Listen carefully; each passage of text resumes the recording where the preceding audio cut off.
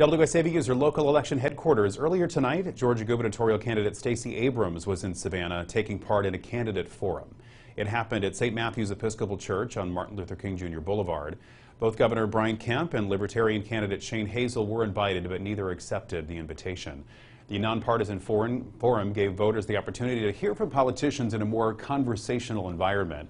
Abrams touched on many issues, including abortion and health care in Georgia. She emphasized that her views on these issues don't mean much unless people vote in the upcoming election.